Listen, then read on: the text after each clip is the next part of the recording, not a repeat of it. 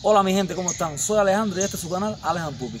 Hoy vamos a estar hablando del American Stanford. Si quieren conocer todo sobre esta raza y saber si es recomendable para ustedes tener uno de estos perros, acompáñenme durante todo el video. Y como siempre les digo, suscríbanse y denle like.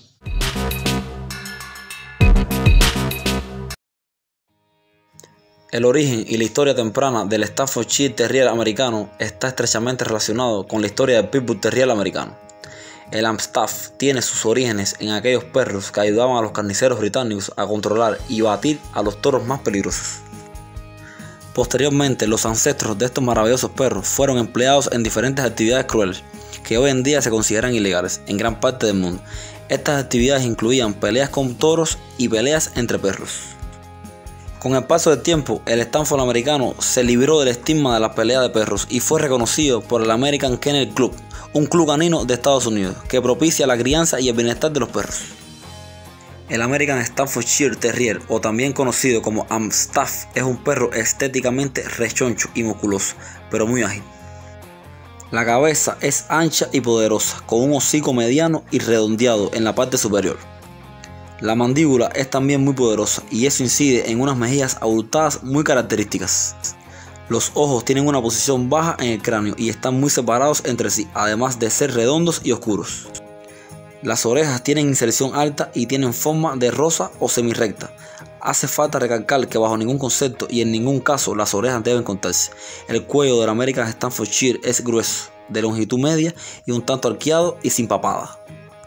El cuerpo de estos perros es robusto y musculoso, pero achaparrado y rechoncho. La espalda del Staffordshire Terrier americano es corta y presenta una ligera inclinación desde la parte anterior hasta la posterior. El pecho es profundo y ancho. La cola de inserción baja es gruesa en su base y se adelgaza gradualmente hacia su extremo. Es corta en proporción al tamaño del cuerpo y el perro no la lleva sobre la espalda ni enroscada. El pelaje es corto, rígido al tacto y lustroso. Puede tener cualquier color, como el blanco, el negro o el marrón. La altura en machos es de entre los 46 y los 48 centímetros. En las hembras, sin embargo, es de entre los 43 y los 46 centímetros.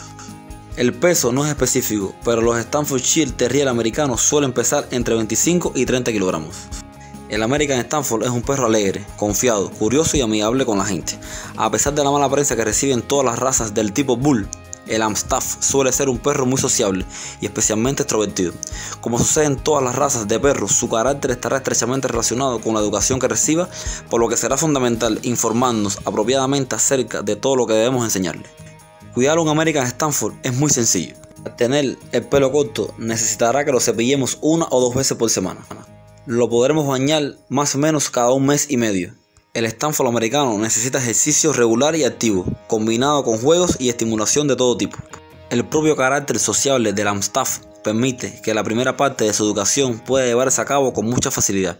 Hablamos de la socialización del perro, un proceso indispensable para que nuestro cachorro aprenda a relacionarse bien con perros, animales y personas.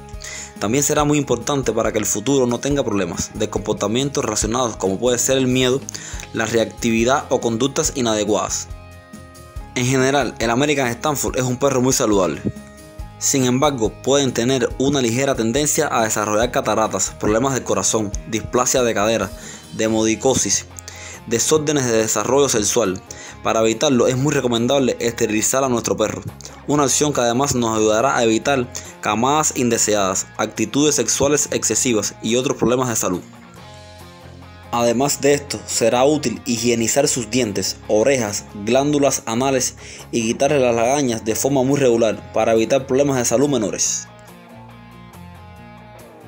Bueno mi gente, fue un placer compartir este video con ustedes, espero lo hayan disfrutado y como siempre les digo, no olviden suscribirse y darle like al video.